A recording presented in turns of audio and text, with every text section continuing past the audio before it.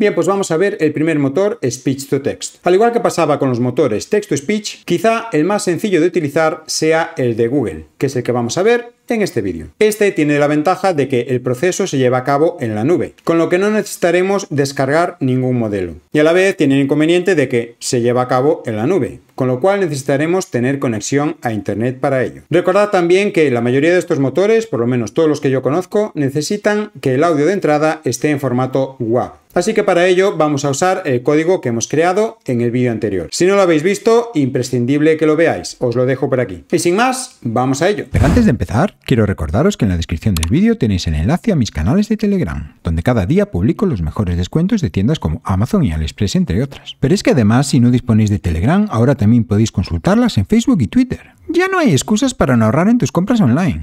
Friki. Aprendo, enseño, aprendo. Bien, como no, lo primero que tenemos que hacer es instalar el módulo que vamos a usar. Y como casi siempre, es tan sencillo como esto. pip install speech recognition.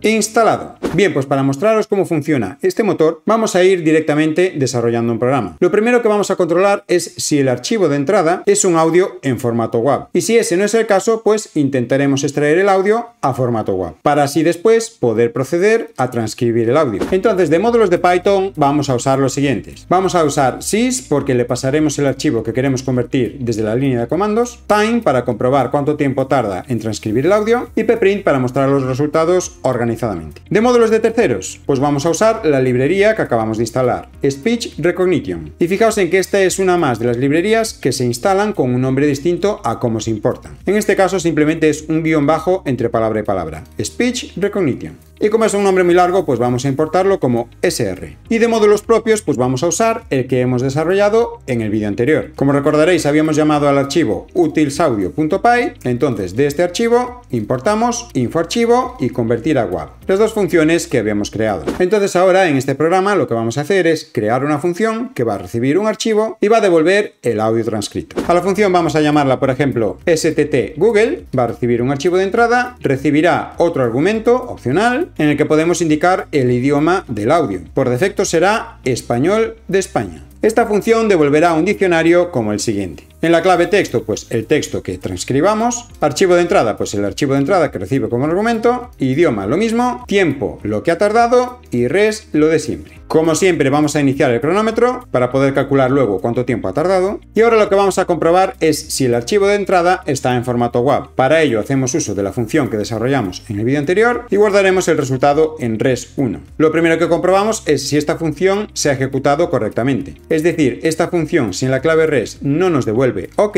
es que algo ha fallado. Entonces, directamente en el diccionario de salida de esta función, en la clave res, devolvemos lo que nos devuelve en la clave res esta función y ya devolvemos el diccionario de salida. Bien, si esta función se ha ejecutado correctamente, vamos a comprobar si el archivo de entrada es un archivo WAV. Es decir, si el formato no es WAV, WAV, pues entonces necesitaremos convertir el audio de entrada a formato WAV. Y para ello, como no, pues vamos a hacer uso de la otra función. Tal que así, guardaremos el resultado de la función en res2. Le pasaremos como archivo de entrada, pues el archivo de entrada. Y al igual que antes, si esta función no se ha ejecutado correctamente, pues en la clave res del diccionario de salida de la función, devolvemos la clave res de esta función. En caso contrario, es decir, que esta función ha devuelto OK en la clave res, es decir, se ha ejecutado correctamente, pues en la clave archivo de entrada guardaremos el archivo de salida de esta función es decir, el archivo WAV. Llegados a este punto, pues sí o sí disponemos del audio de entrada en formato WAV. Así que ya podemos proceder a transcribir el audio.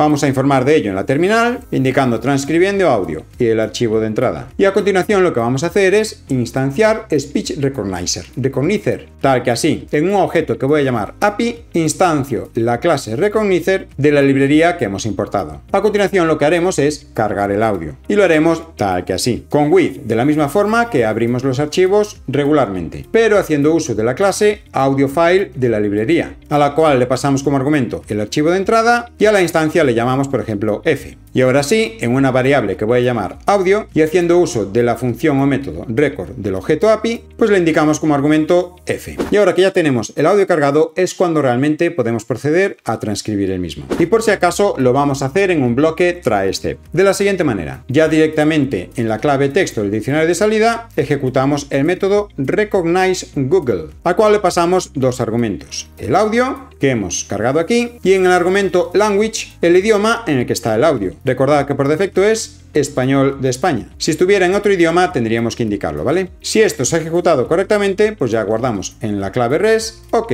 Si se produce alguna excepción, pues devolvemos en la clave res, error al reconocer la voz y el string de la excepción. Llegados a este punto, si todo ha ido bien, pues calculamos el tiempo que ha tardado y devolvemos el diccionario de salida. Y con esto ya tendríamos lista nuestra función. Y ahora vamos a definir main para poder hacer uso de ella directamente en este programa. Y lo haremos de una forma tan sencilla como esta. Si el número de argumentos al ejecutar el programa es 1, es decir, solo le hemos pasado el nombre del archivo Python, pues devolveremos un error. Error debes indicar la ruta del archivo de audio. Y finalizamos el programa con un código de error 1. En caso contrario, pues ya ejecutamos la función que acabamos de desarrollar y le pasamos como archivo de entrada pues el segundo argumento al ejecutar el programa. El primero, recordad que es el nombre del programa. Y acto seguido, pues mostraremos con pprint el resultado de ejecutar esta función. Y con esto ya estaría. Guardo y ejecuto. Vamos a probarlo primero con este audio.